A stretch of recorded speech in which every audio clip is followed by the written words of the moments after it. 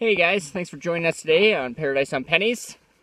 So today we're going to go on kind of a little exploration and we are going to see if we can try to build ourselves a bio stove. We've been looking at looking at them for a while now and obviously they're like a hundred some dollars if you buy them. So we figured instead of paying any money for it, we'll try to make it free, of course, first off, and if it works out good, then we can we can go from there. So today we're actually just gonna kind of go for a hike. We're out in the middle of nowhere again, um, with lots of mining areas and mining stuff around. So there's lots of cans and kind of their debris left around. So I'll take you with me. I'll pick up some stuff, and I only have a limited amount of tools, so we'll uh, we'll see what we can come up with and see if we can cook a meal out of it. But that's our journey for today. So follow along, guys. We'll see what we can do. So as you can see, there's no shortage of cans to choose from, but the only thing is most of them are pretty beat up. So the trick is trying to find one that's in decent enough shape to work.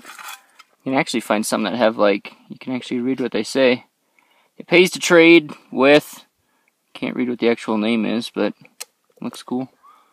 There's some other big ones in here too. Oh, yeah, there.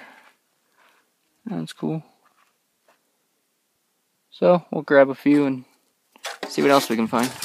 Alright, so I found a few good things already. We got this nice, that could be kind of the inside of it or the outside of it. It's a nice little pot. There's lots of like heavy duty, like if you had the right tools, you can make a lot of stuff out of this.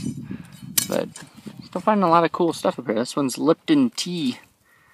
Sounds kind of cool, but not useful for me, but still kind of cool. Hi, bud. Keep looking, see what else we can find. Alright, finding lots of sheet metal. Also finding lots of like big pieces of just kind of like rebar. Those are kind of heavy duty, so I'm going to collect some of them. That should come in handy.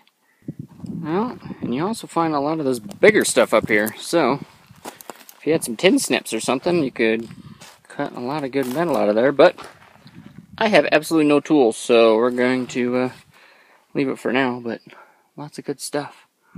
All right, tiny dog. Alrighty, we made her back to camp with our treasures here. So, we got some cans and stuff, a whole bunch of wire, this awesome rebar stuff that's really, really thick. And this uh, looks like an old, really heavy-duty umbrella that we might be able to tear apart. So, um, that's what we got for supplies. And then these are my tools that I do have with me. So, we'll see what we can make with uh, with this. So here is my plan so far. Um, I'm going to use this bigger can for kind of the base.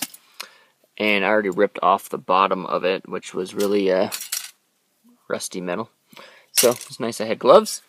Now I'm going to decide to like poke some holes in it. I got one through it, which just used my little knife. It seemed to work pretty well, but I'll make them a little bit bigger. So that'll kind of be my airflow.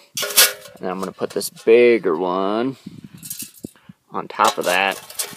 So then your airflow will come in from down there, but the fire will be in there.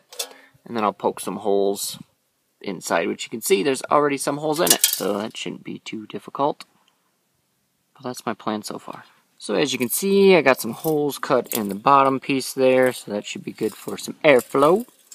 And then I also got some holes cut in the bottom of that, so the air can come up into the little stove area. And it's kind of nice because this has actually already got some bullet holes on the side, so I can use that. I'll uh, open that up a little bit farther, so that's where I can feed the, the fuel through or the wood through. Okay, as you can see, I got that little can inserted into the bigger one there. So, just took a little bit of cutting, and I actually cut the the rim of the little can off that was on the inside because it made it a little easier to bend around to get into the cuts I made on the side. So that looks pretty well. Obviously, there's a little few holes in there from the rust, but that should work. And thinking about taking this wire and like poking some holes in the bottom and kind of zigzagging it back across so the fire kind of sits up a little bit off of the bottom. So we'll see how that goes. Alrighty guys, this is kind of what I got. I put those wires across the bottom there. But I'll see if that kind of keeps the flame up. That's kind of my setup here. Just use some rocks to uh, hold the umbrella thing up. So that should be pretty close to the pan there. Keep it off a little bit, get some airflow. So everything looks good. We'll stock her up and see how she works. Well, there you have it, guys. Seems to be working. Looks pretty good. It's just very light. It would be nice to have a little bit of weight on it, so when I put the sticks in, it's actually very wobbly. But it's doing the trick. So, as you can see, you can make one for free. That was a pretty good deal. Well, hope you guys enjoyed the video. We'll see you next time.